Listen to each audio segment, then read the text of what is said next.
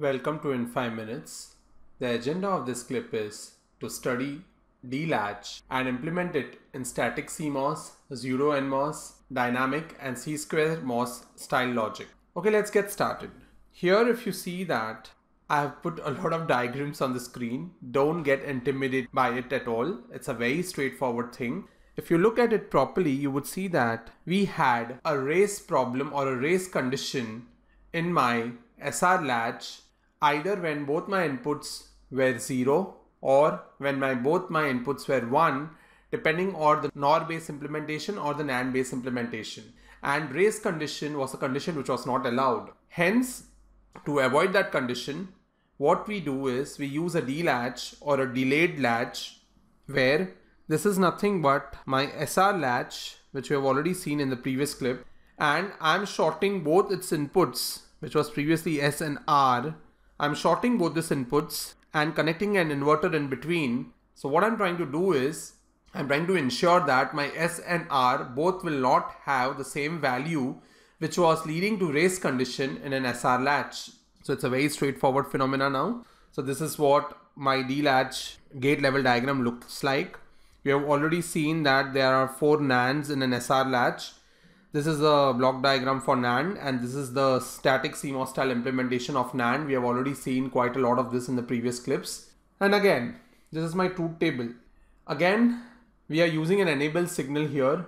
So when enable is low, it does not care what my D input is, but same like SR latch, it will hold on to my previous value. However, when enable is 1, there will be an effect of input D and the output will change. We have already studied this in the lower classes. You can put this different values of D in the gate level diagram and also see the corresponding output. When you do that, you will come to know that when D is 0, my output Q is 0. When my D is 1, my output Q is 1. So my output follows the input with some delay, which is nothing but a delay of all the gates which are present. And so it's called a delayed latch. Now we need to implement this delayed latch in a static CMOS style very similar to SR. Just short SNR with an inverter in between is nothing but a D-latch implementation in static style. If I have to do it real quick, we'll name all these NANDs, say 1, 2, 3 and 4 and draw the corresponding NAND diagrams for 1, 2, 3 and 4. Suppose for NAND 1 the inputs are D and E, so this is input D and this is input E. DE and the output is S bar is taken here and given to NAND 3 as one of the inputs. So draw all the four NANDs, give it the corresponding inputs, take the outputs and that outputs can be the inputs to certain NANDs, make those connections, ensure that now there will be an inverter. This inverter is nothing but the inverter present between the two inputs. So that's the inverter present and this inverter is also being shown. So one NAND 2 will have an input D bar whereas NAND 1 will have an input D and this completes my static CMOS style representation of a D latch.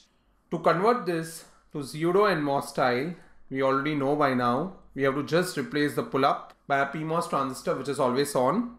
In dynamic style, we'll have a pull up circuit replaced by a PMOS transistor and the pull down of a static style, we will append an NMOS and both this PMOS and NMOS will have an input phi and in C square MOS style, we'll have the pull up, we'll have the pull down, and in between my pull up and pull down, appending a series transistor to a pull up connecting closer to the output and appending an NMOS transistor to the pull down of static closer to the output, which is nothing but pull up, appending a series PMOS, pull down, appending a series NMOS to it, and the output will be taken from here.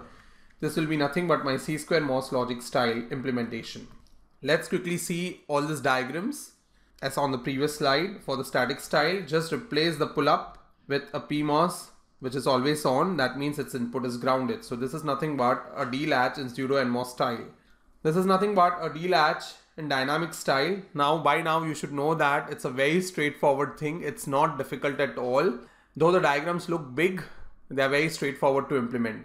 So in D-latch and dynamic circuit, we'll have a pull-up PMOS and a pull-down NMOS, pull-up PMOS, pull-down NMOS, so on and so forth, connected with an input phi, and the inverter which is connected is also implemented in dynamic style, and the outputs are taken between the pull-up and the pull-down network. So this is nothing but a D latch in the dynamic style. Same like static, only a pull up is replaced by a PMOS with an input phi and pull down is replaced by an NMOS in series with the static style pull down.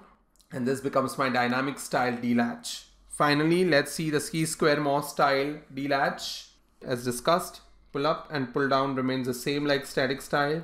And in between you will have a PMOS and an NMOS and the output is taken in between from that PMOS and NMOS which are connected or appended in series to my pull up and pull down network respectively. So once the outputs are taken, you just need to take that outputs and make the further connections. So this is a very straightforward thing. So with this, we saw how DLatch can be implemented in static, dynamic, pseudo and NMOS and C square MOS style. In further clips, we will see a D flip-flop and implementation of DLatch in pass transistor and transmission gate style. Hope you have followed. Stay tuned and thank you very much.